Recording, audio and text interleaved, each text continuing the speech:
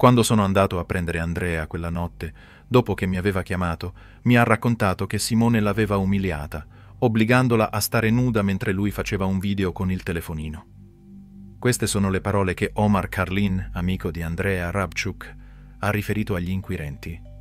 Andrea, la giovane romena di 27 anni, era scomparsa il 12 marzo 2022 da Montecarotto, in provincia di Ancona, e il suo corpo è stato ritrovato il 20 gennaio 2023 in un casolare a Castelplanio, non lontano dal luogo in cui era sparita. Carlin, ascoltato come testimone l'8 maggio 2022, ha raccontato che, qualche tempo prima della scomparsa di Andrea, una notte era andato a recuperarla fuori da un albergo. La ragazza era rimasta chiusa dentro con il fidanzato Simone Gresti, 46 anni, e altre due donne. In quella circostanza, Andrea avrebbe subito umiliazioni e violenze fisiche da parte di Gresti, che l'aveva costretta a denudarsi mentre la filmava. Simone Gresti risulta indagato per maltrattamenti e istigazione al suicidio. La procura ha però deciso di archiviare l'ipotesi di omicidio, ritenendo che non ci fossero prove sufficienti per un'accusa in tal senso. Secondo quanto emerso dalle indagini, il fidanzato di Andrea sarebbe stato l'ultimo a vederla viva. La ragazza scomparve nelle prime ore del mattino, dopo aver partecipato a un festino in una roulotte parcheggiata nel giardino di una casa di campagna, insieme a Gresti e a due amici.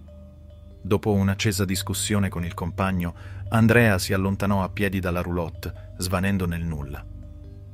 Gli investigatori hanno ricostruito una relazione di natura tossica e pericolosa, segnata da maltrattamenti e violenze psicologiche nei confronti della giovane. In particolare, Andrea sembrava essere vittima di gaslighting, una manipolazione psicologica che induce chi la subisce a dubitare di se stesso. Gli esperti hanno concluso che Simone Gresti spingeva Andrea a scrivere frasi devastanti contro di sé.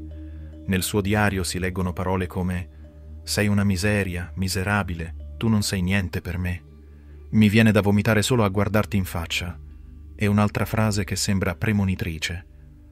Non vado perché non ti voglio più, vado perché non posso più restare.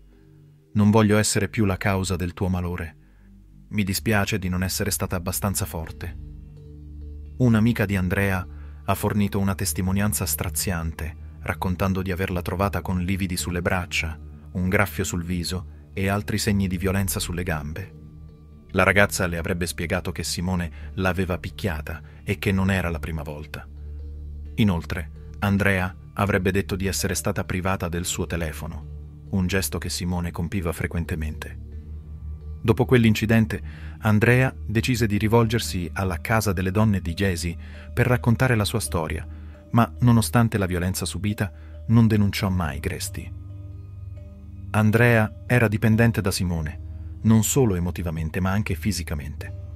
L'uomo, oltre ad essere indagato per maltrattamenti, è accusato anche di spaccio e la ragazza era dipendente dal crack. La sua relazione con Gresti sembrava essere legata a una dipendenza reciproca, in cui per Andrea lasciarlo significava anche rinunciare alla droga. Questo legame perverso e di controllo da parte di Simone, che occupava una posizione dominante nella sua vita, ha contribuito a mantenere Andrea intrappolata in una spirale di violenza psicologica e fisica. Per Simone Gresti potrebbe esserci presto una richiesta di rinvio a giudizio in relazione ai maltrattamenti e all'istigazione al suicidio di Andrea.